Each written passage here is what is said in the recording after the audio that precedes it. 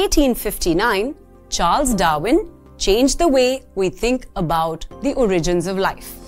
Instead of surging spontaneously, new species appeared through the complex process of evolution by natural selection. But what about us humans? Did we also evolve from other species more primitive than us? How did we end up being the advanced species we are today?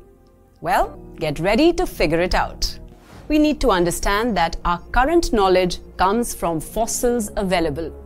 Bones, footprints, and some tools are all that remain from our oldest relatives. Our journey through the fossil record begins 15 million years ago during the Miocene period. Here, the ancient Dryopithecus and Ramapithecus existed. Both of them were hairy and moved around pretty much in the same way we see gorillas and chimps moving today. However, the Dryopithecus had more ape-like features like their teeth that resemble those of chimps and their facial features pretty similar to those of gorillas. Ramapithecus showed more human-like traits, their teeth being in an intermediate state between other apes and humans. Two million years ago, these Eastern African apes existed. Zooming into Eastern Africa at that time, we can view our first bipedal ancestor, Australopithecus, and its relatives living in grasslands. The evidence is fragmentary, but we think they had a diet based on fruits, although they probably used stone weapons for hunting. During the same era, about 1.6 million years ago, we see the earliest of true humans in Tanzania. A species known as Homo habilis inhabited the grasslands of Tanzania. Its name comes from the fact that they were exceptionally good with tools, more than any previous species. This makes sense as they had significantly bigger brains, with their skulls showing a brain capacity of 650 to 800 cubic centimeters. These adaptations were the result of constant selective pressures, environmental hardships, that favored those individuals with higher brains and hence more intelligent. Oddly enough, despite being so good with tools, evidence suggests they were not meat eaters. 1.5 million years ago, the island of Java was inhabited by Homo erectus.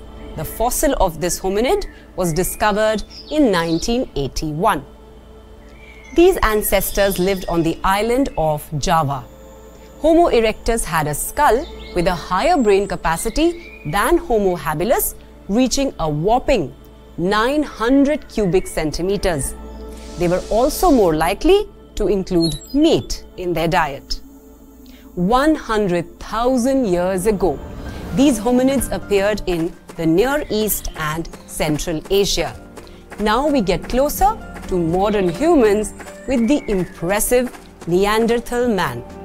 They had brains larger than those of Homo erectus, reaching the unprecedented mark of 1400 cubic centimeters. Being this smart, they showed more complex behaviors. Evidence suggests they protected their bodies with hides and even buried their dead. They disappeared at some point 40,000 years ago. The final stage in our evolution appeared in Africa, around 75,000 to 10,000 years ago. In Africa, during the Ice Age, the modern man evolved and was known as Homo sapiens. Homo sapiens have brains that average 1300 cubic centimeters. Yes, our brains are smaller than those of Neanderthals, but don't be sad, as this doesn't mean we are less intelligent. After all, our species is the one with the most complex behaviors. We developed an interest in art and other forms of abstract expression.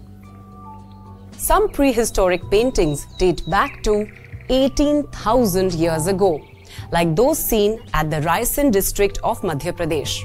Oh, and 10,000 years ago, we also developed agriculture. This was huge for us because we could decide to stay in a favorable location and plant our crops, essentially kickstarting human settlements and civilization itself. Ramapithecus and Dryopithecus lived 15 million years ago. Ramapithecus was more human-like, while Dryopithecus was more like apes. Two million years ago, the Australopithecus appeared in the eastern African grasslands. They were small and walked upright. Homo habilis quickly followed, showing great skill with tools and a bigger brain. Homo erectus was the next stage, appearing about 1.5 million years ago. Its brain was considerably bigger and was likely a meat eater. The Neanderthal man lived 100,000 years ago in Central and East Asia. It had a huge brain and developed complex behaviors. Finally, Homo sapiens, the modern humans, appeared in Africa between 75,000 to 10,000 years ago. Homo sapiens have high intelligence, showed interest in art, and developed agriculture and civilization.